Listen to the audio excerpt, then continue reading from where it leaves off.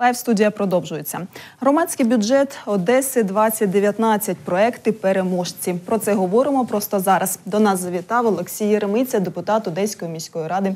Рада вітати вас. Здравствуйте. Є питання і до вас, шановні телеглядачі. Отже, чи подобаються вам реалізовані проекти громадського бюджету? Два варіанти відповіді: так, вони достойні чи ні, можна було б краще. Голосуємо. 726-3326 працює телефон студії. Телефонуйте, якщо у вас є що сказати з теми ефіру або є запитання до нас. Отже, на реалізацію проєктів у міському бюджеті передбачено цьогоріч е, 100 мільйонів гривень, а на наступний рік вже ополовинили 50 мільйонів гривень. Про що це говорить? Ну, это говорит о том, что отношение городских властей к общественному бюджету не очень, я так понимаю, уважительное. И я вспоминаю, как оно с самого начала происходило. М, Общественный бюджет появился на волне, может быть, такой постмайданной определенной риторики. э, И Відповідати на запити суспільства, Да, абсолютно що хоче верно, громада, да, те абсолютно будемо верно. робити. Участие каждого гражданина, жителя Одессы и принимать непосредственно в участие, в том числе и, условно говоря, в распределении бюджета, не только через э, депутатов городского совета, м, то есть своих представителей, а и, скажем так, э, напрямую. Ну и приводился э, в пример э, и некоторых, э, скажем так, европейских государств, городов, ну и в частности наших, скажем так, э, украинских городов, где уже этот проект был реализован. А, И тогда на этой волне появилось вот 100 миллионов гривен. Мы помним ажиотаж э, в начале, когда только появилось, было большое количество участников, э, большое количество проектов, и мы видим, что с каждым годом все меньше и меньше и меньше. С одной стороны, есть определенное разочарование общественных э, деятелей, организаций, одесситов, которые там, подавали свои, допустим, проекты, которые не прошли. Э, Плюс э, мы понимаем прекрасно, что есть определенное давление со стороны городских властей, и что греха таить, определенные проекты, ну, на мой взгляд, достаточно непонятные, неясные, они проходят. А те, которые, на мой взгляд, очень интересные, необычные, действительно, мне кажется, имеют определенный социальный подтекст и определенное значение нашего города, они почему-то не набирают э, голоса, хотя вроде за них голосуют. Да? Ну, то есть такая ситуация непонятна. Конечно же, это, во-первых, уменьшает и э, интерес к общественному бюджету, ну и, наверное, и к доверию э, к реализации данного общественного бюджета. И это, конечно, нашло отображение в том, что сумма уменьшилась, но есть э, положительные моменты для депутатов городского совета. Депутатский фонд увеличивается с миллиона гривен до полутора миллиона гривен. Вот, я говорю это с улыбкой не потому, что я, скажем так, депутат горсовета и мой фонд увеличился на полмиллиона, потому что я вижу в этом определенный тоже э, какой-то смысл в плане того, что там стало меньше, здесь стало больше. То есть, э, я так понимаю, что это какая-то уже подготовка к избирательным кампаниям, парламентским, президентским, парламентским, ну и местным через пару лет. Ну і чиновників у мерії стане більше, так е, тобто там десь у- убивають, а тут додається, де треба, як Ну, вважає міський м, голова. Да, возможно и так. Я не буду комментировать э, слова Геннадия Леонидовича, потому что я не до конца иногда понимаю, о чем он говорит. Э, Вот, э, может быть, него какая-то есть дополнительная информация. Но на самом деле у нас происходят некоторые реформы, вот, здравоохранение в частности, и мы видим, как, допустим, там, количество сотрудников э, учреждений там уменьшается, но за счет того, что эта реформа не превращается из одного вида в другой вид, а на самом деле количество людей меньше не становится. Поэтому и по чиновникам, мне кажется, ситуация аналогичная. Просто были учреждения, стали коммунальные предприятия, имели статус, допустим, там работников местного самоуправления этот статус потеряли, потому что это превратилось в коммунальное, допустим, предприятие и так далее. То есть, ну, на самом деле все очень относительно, зарплату как платили, так и платят, и сказать, что это уменьшается тягар на бюджет, я бы не сказал. Повертаючись до громадського бюджету, чи встигли освоїти в цьому році всі 100 мільйонів гривень? Чи можна це перевірити, що не, не десь там не закрався один мільйончик гривень? Ну, очень легко проверить. Я вам скажу, что м, ну, по реализации общественного бюджета в 2018 году, он еще не закончен, он э, реализован, дай бог, чтобы процентов на 20. То есть вообще э, практически нет. Почему? Потому что э, ну, есть как бы масса моментов, масса проблем, к сожалению. В этом виноваты все, будем говорить так. И общественность, и те, кто непосредственно предлагал те или иные проекты. Ну и мне кажется, что в большей степени виноваты городские власти, прежде всего чиновники. Объясню почему. Потому что когда проекты подаются, и когда тот или иной департамент э, ставит свою визу и, условно говоря, поддерживает тот или иной проект, то, конечно же, они должны очень тщательно отработать этот проект э, с той общественной организацией, либо с теми, допустим, инициативными гражданами Одессы, которые его подавали. Почему? Потому что есть интересная, допустим, идея, э, есть какой-то расчет, допустим, смета, а, но очень часто, скажем так, э, оно не совсем, будем говорить, э, может быть, несколько грубыми словами, не совсем адекватно. Почему? Потому что бывает отсутствие технические возможности. Бывает, э, скажем так, те расчеты, которые изначально поданы, они не соответствуют действительности. То есть не до конца оценены реалии. Ну, мы все, наверное, сталкиваемся с вами, допустим, там, очень часто, когда идет какой-то поверхностный анализ каких-то товаров либо услуг в интернете, а, но когда ты сталкиваешься по сути с получением этой услуги или с покупкой товара, то это стоит иногда в два-три раза дороже. Ну, там, я буквально сталкиваюсь с этим повсеместно, там, допустим, там, не буду приводить какие-то конкретные примеры, но я думаю, что каждый понимает, о чем я говорю. Итог.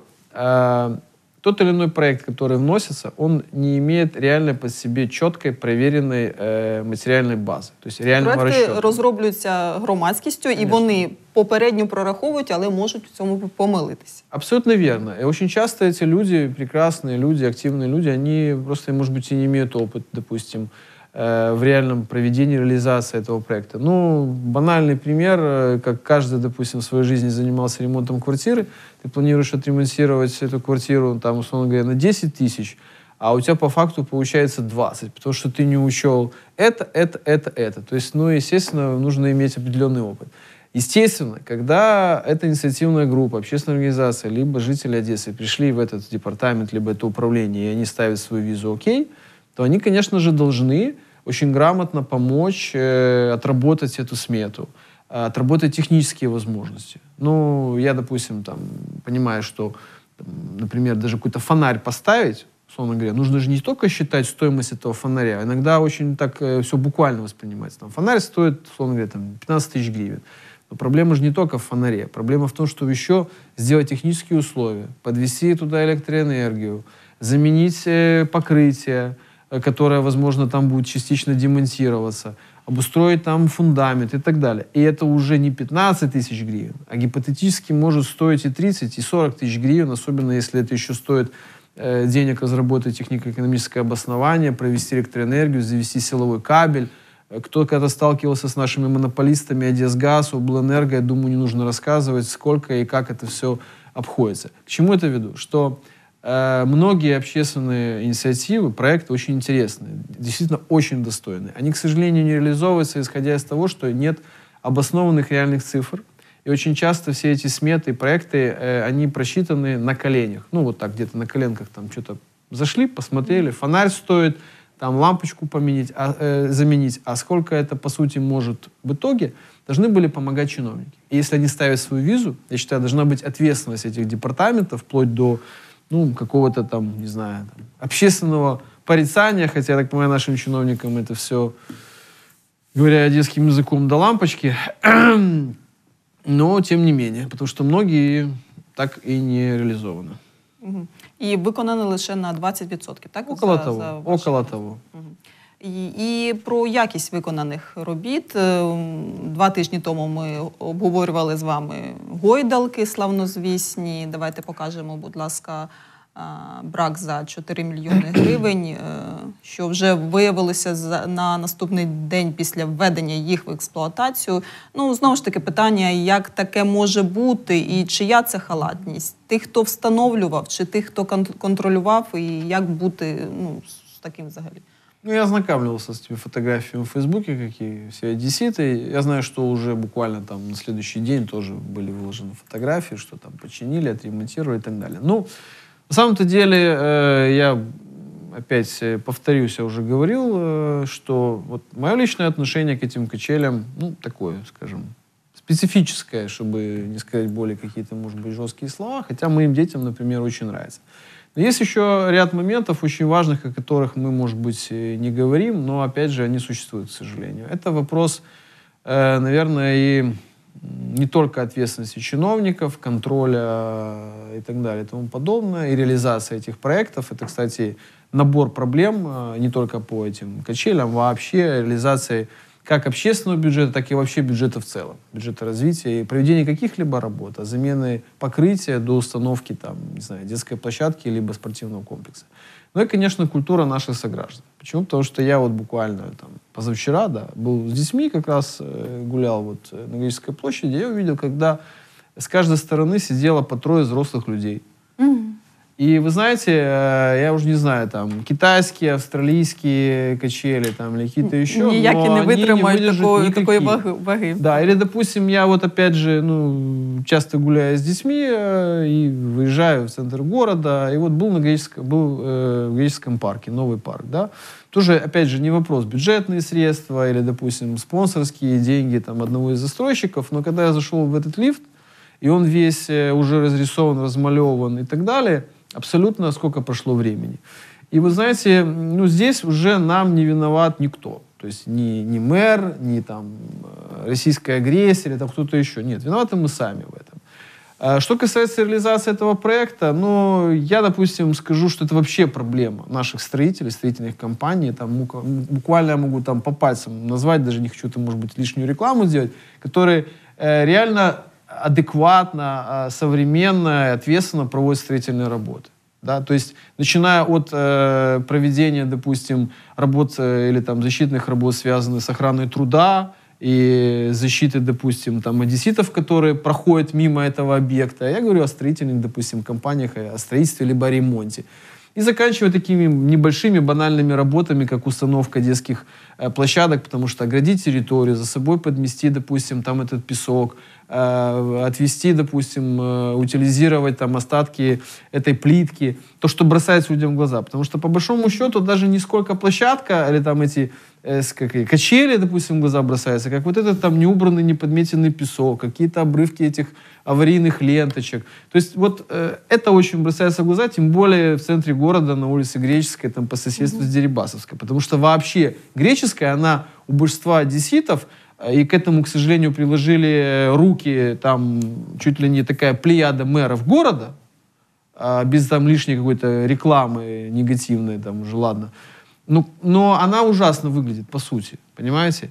И здесь э, вот сам этот негатив самой Греческой площади тоже добавил, мягко говоря, огонька к этому проекту. То есть, ну, я как бы пытаюсь там быть объективным. Хотя, опять же, днем на них смотреть страшно, ночью смотрится неплохо. Хотя, опять же, это тоже грустно, когда вся Греческая площадь абсолютно темная. Просто темная, и только мигают эти качели. Где же это освещение на Греческой площади?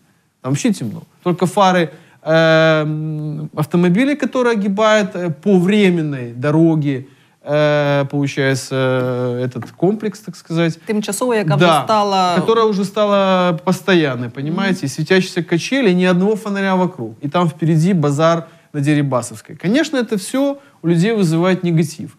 И, конечно же, это добавило, опять же, негатива к этому проекту. А й- якщо, на мой про, взгляд. якщо проект відверто невдалий, чи можна змус, не- знайти, по-перше, винних, змусити повернути гроші, чи якось якусь компенсацію, чи це міф, і ми маємо потім миритися з тим, що є, і ось е, маємо цей проект реалізований, подобається, не подобається. З Ну, ним живемо понимаете, тут получается палка о двух концах. Вот, да, э, если рассмотреть инициативу и, собственно говоря, положение общественного бюджета, как он фигурирует, да, как э, инициатива одесситов. То есть, э, когда этот проект, допустим, вносился, сидят э, члены комиссии, причем они представлены только чиновниками, есть депутаты, есть общественные деятели, э, и вроде как бы, ну, всем нравится, проект проходит. Причем я сейчас там не помню результаты голосования состояния комиссии, ну, может быть, там один кто-то там был против, и то.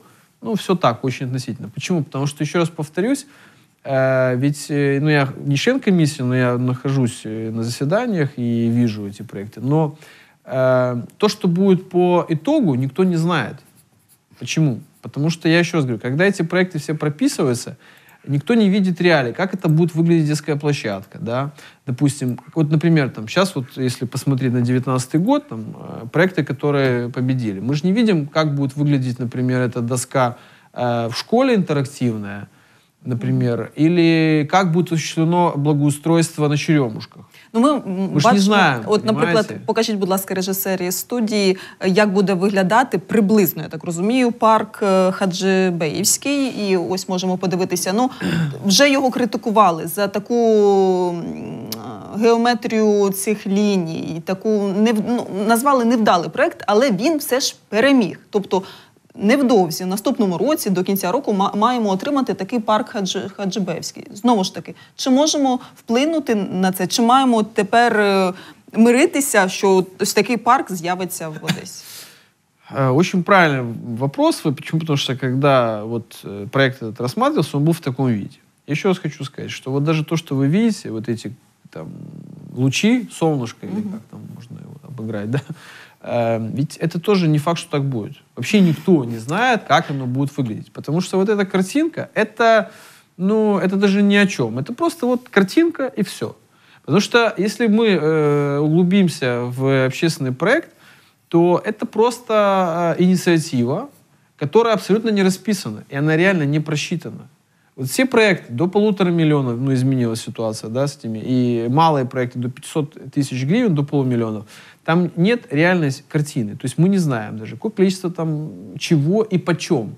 Потому что, э, ну, там по- по- получился такой определенный хайп там вокруг этих качелей. Но, вы знаете, я вам скажу откровенно, есть гораздо больше проектов, где вообще нет ничего.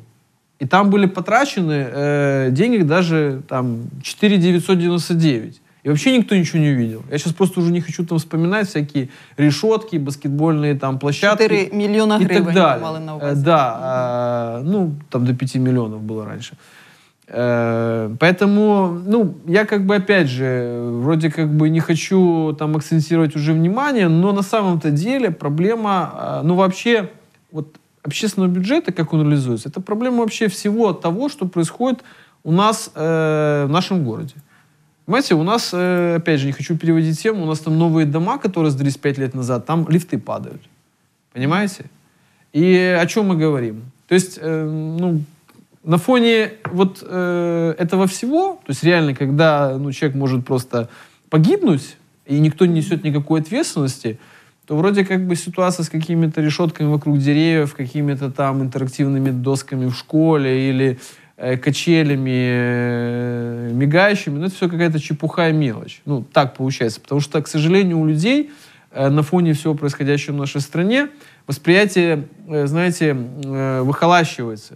То есть то, что, например, в Европе бы привело бы к отставке, к уголовным каким-то делам, либо там чуть ли не каким-то митингам, у нас это абсолютно нормальная ситуация. З потому іншого что- боку, Одеса позиціонує себе як культурна столиця України, як туристична м, навіть мекка, що до нас приїздять і будуть приїздити ще ми приваблюємо. І чим же ми приваблюємо? Ось Знаете, такими э, парками. я, к сожалению, Что я побачит патриот турист. своего города, очень люблю свой город, здесь родился и вырос, и однозначно. Но, вы понимаете, э, проблема в том, что у нас э, тоже немножко такое неправильное отношение. Нам кажется, что кто-то должен вот э, там в мэрии решить, депутат, там президент, каждый должен делать. Вот я смотрел и читал э, обсуждение там вчерашнего детского праздника на Думской, да, когда там дети, подростки сносили друг друга за какой-то подарок.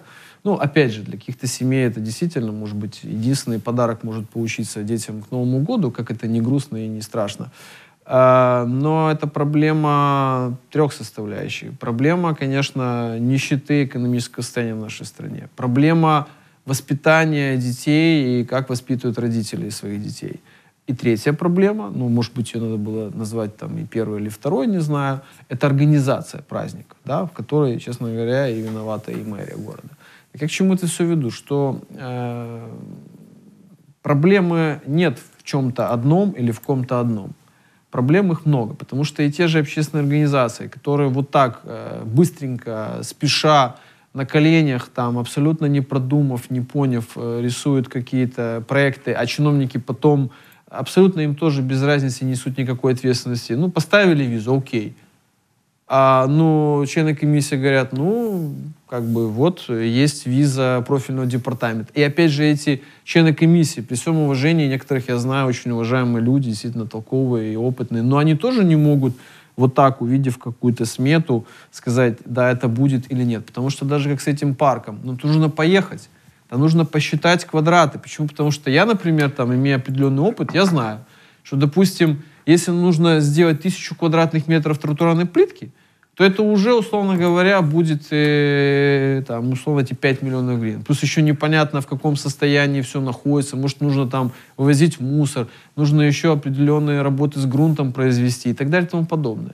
А заплановано півтора мільйони Ну, гривень. я условно, я условно, я Ну, сейчас так. не хочу бросаться цифрами, просто я знаю, что есть проекты, которые на полтора миллиона, а я понимаю, что там просто э, сделать адекватный проект и хотя бы кабель подвести уже стоит э, полтора миллиона при нынешних ценах и технических возможностях.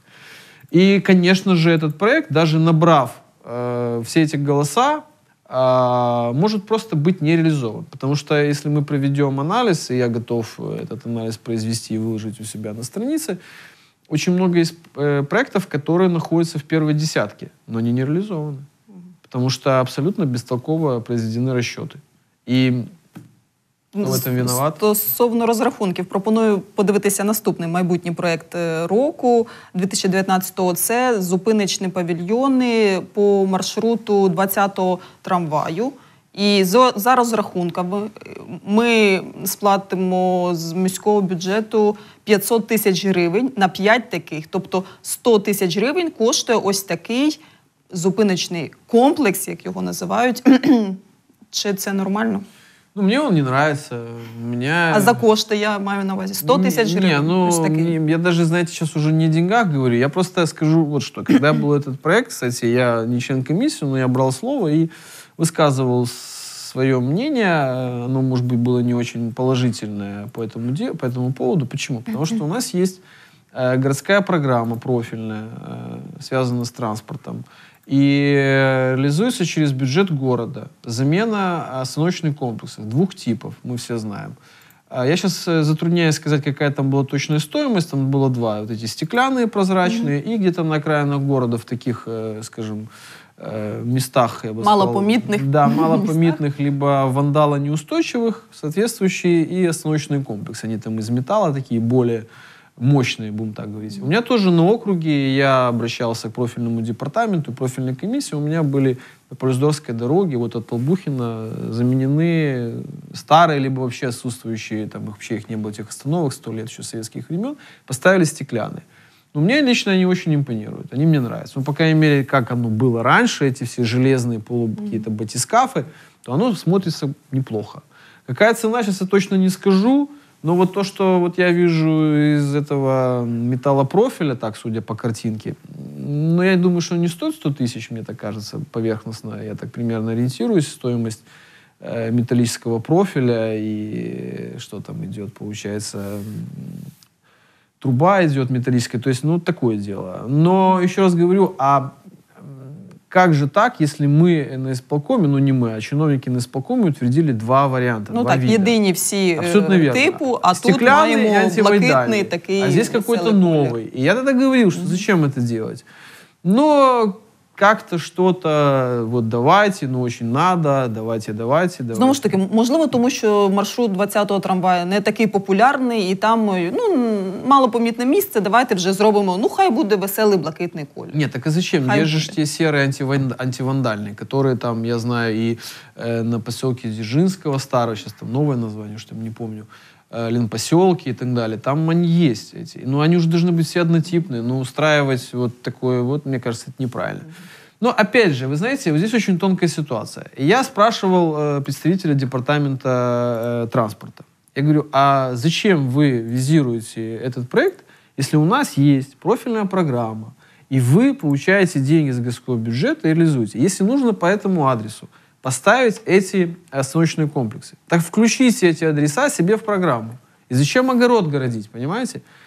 Но я, честно говоря, и не понял э, никакой логики. Не- и Напевно, в сказали, чем- люди так захотіли. но это тоже Хочешь бестолково. блокетного То есть чиновники должны, если они несут ответственность профильные, они должны говорить и нет, и что-то такого нет, ну, как бы плохого.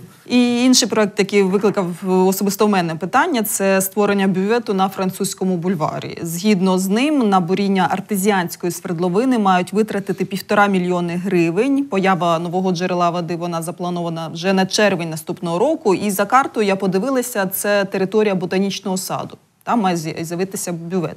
Мені згадується одразу бювет на французькому бульварі у Мукашевському провулку, який вже є, але там закритий, там є свердловина. Чому?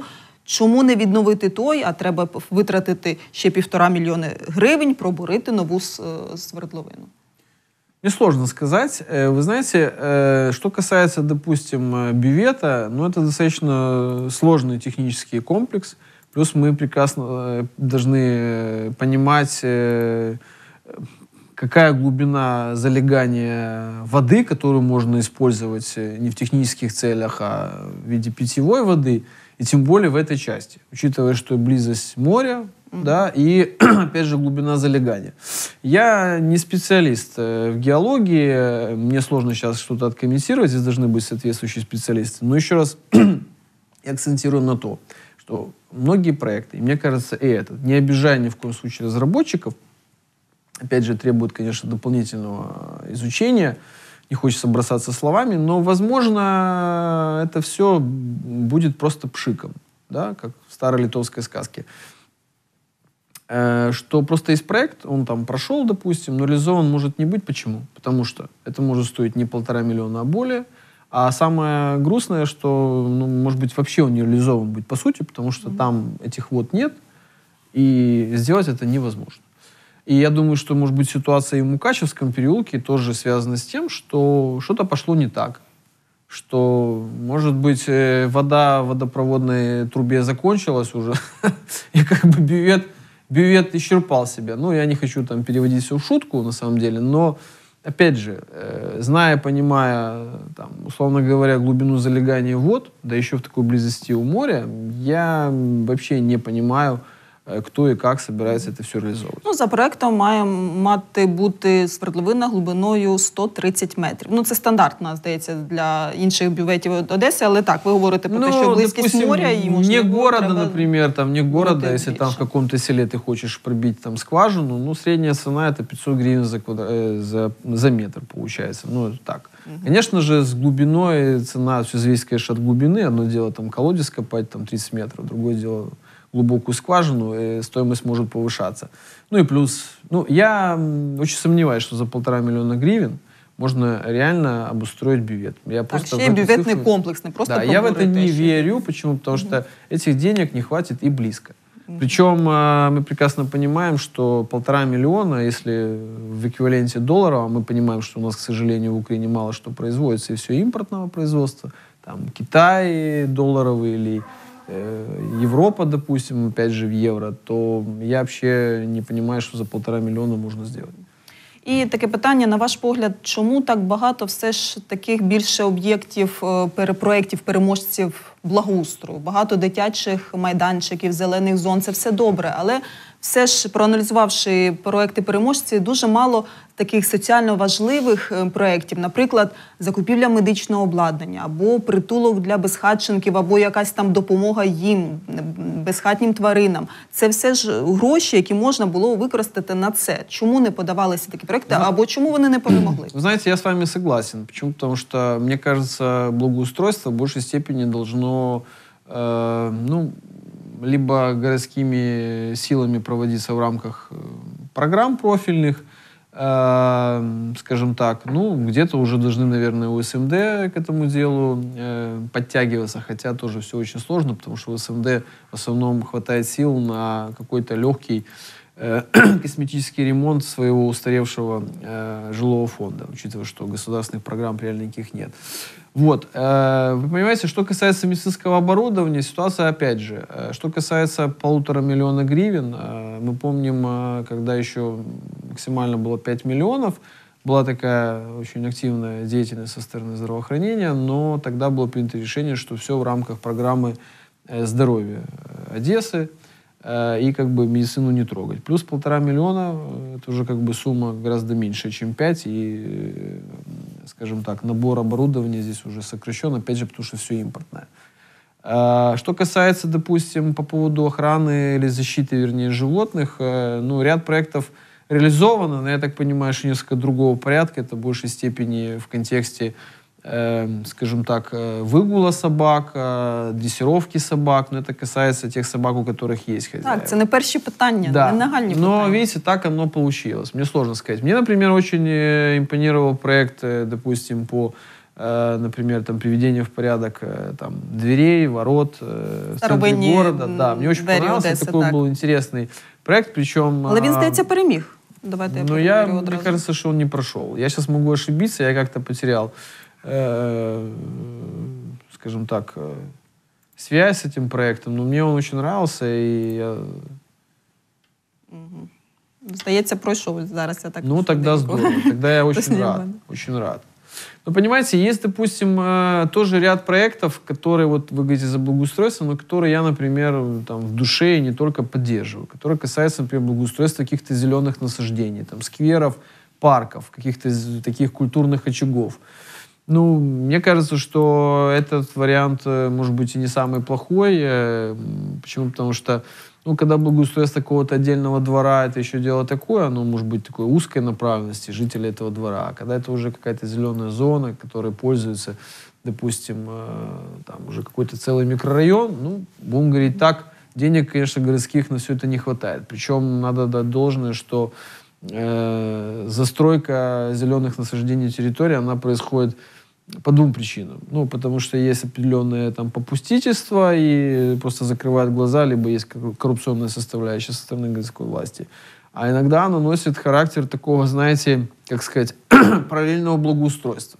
То есть если зеленая зона находится в занедбанном состоянии, там ничего нет, ни площадки, ни газона, ничего, ничего, ничего. Это так еще с тех старых советских времен. И как бы появляется добрый хозяин, который там вот будочку поставил, дорожки провел, какую-то детскую сделал площадочку. И вот так Ну, вот- добре, якщо дитячий і майданчик, ніж висотна да, будівля. но потом эта будочка превращается в двухэтажное Так, кафе и а пошло-поехало. потом чотири. Поэтому лучше пускай мы за общественный бюджет сами приведем в порядок этот сквер, и не надо нам такого доброго соседа, который нам не всегда добрый сосед. Щодо проекту, який, який ви згадали, Да. реставрація старовинних дверей, знаходимо його у рейтингу переможців. Унікальний туристичний маршрут, е, тисячу мільйон.